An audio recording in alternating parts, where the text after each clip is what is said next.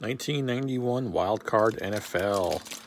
Trying to pull those thousand stripes. Used to love these back in the day.